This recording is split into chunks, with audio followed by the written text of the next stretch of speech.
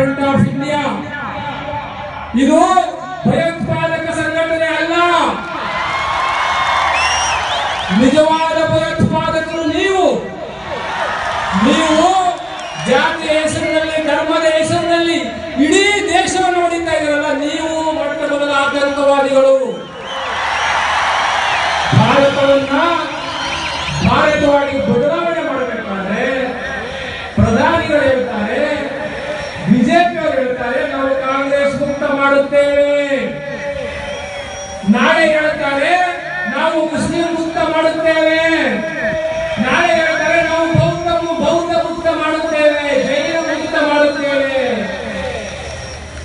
ಎಷ್ಟು ಪ್ಲಾನ್ ಇದೆ ಅವರಲ್ಲಿ ನಿಜವಾದ ಭಯೋತ್ಪಾದಕರು ಯಾರು?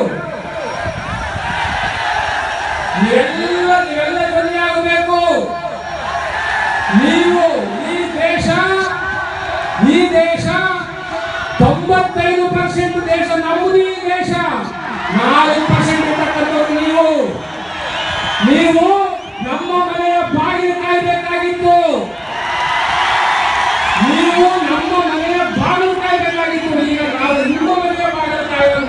기대합니다.